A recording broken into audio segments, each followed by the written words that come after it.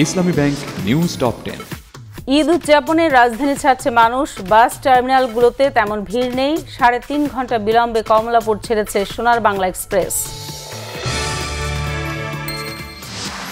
পদ্মা সেতুতে মোটরসাইকেল চলাচল শুরু, খুশি চালক ও যাত্রীরা সর্বোচ্চ গতি ষাট কিলোমিটার সার্ভিস লাইন দিয়েই চালাচ্ছেন চালকরা।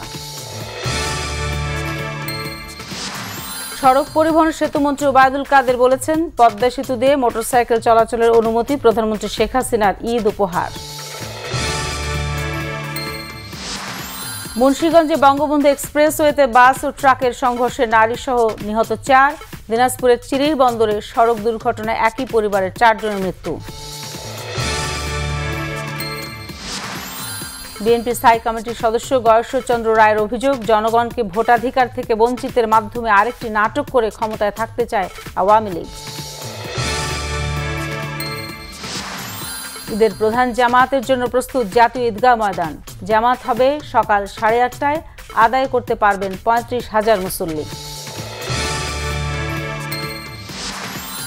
তীব্র গরমে বিপর্যস্ত জনজীবন কমতে শুরু করেছে তাপমাত্রা। শনিবার থেকে ঝড় সহ শিলাবৃষ্টির সম্ভাবনা জানিয়েছে আবহাওয়া অধিদপ্তর। চাঁপাইনবাবগঞ্জের শিবগঞ্জ পৌরসভার নয় নম্বর ওয়ার্ডের সাবেক কাউন্সিলর ও জেলা স্বেচ্ছাসেবক লীগের সদস্য খায়রুল আলম জেমকে কুপিয়ে হত্যা করেছে দুর্বৃত্তরা। ভারতীয় লোকসভার সদস্যপদ আপাতত ফেরত পাচ্ছেন না কংগ্রেস নেতা রাহুল গান্ধী।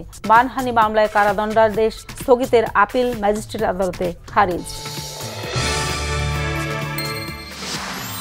উয়েফা চ্যাম্পিয়ন্স লিগের সেমিফাইনালে ম্যানচেস্টার সিটি ও ইন্টার মিলান শেষ আটে বিদায় বায়ার্ন মিউনিক ও বেনফিকা